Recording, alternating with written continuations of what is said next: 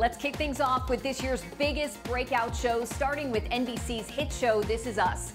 Our senior correspondent Arthur Kade is here with more. Hey, Arthur. Hey, Sonia. This Is Us was TV's biggest breakout hit. I caught up with the cast about what to expect in season two and the show's incredible success. He changed me.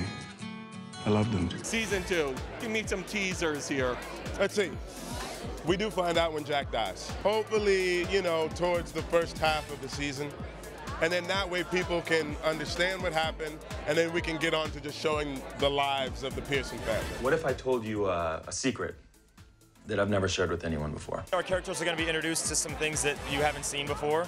They're going to go down some difficult roads that are new ventures, but in keeping with This Is Us, it's going to be very emotional. We're going to make you laugh, make you cry. We're going to make you root for our characters when they're not doing so well and hope for a good outcome. You guys hit the carpet and everyone went berserk. Pretty cool? It's flattering and humbling, but I mean, seeing Susan and, and Mandy and the crew, it's like I understand.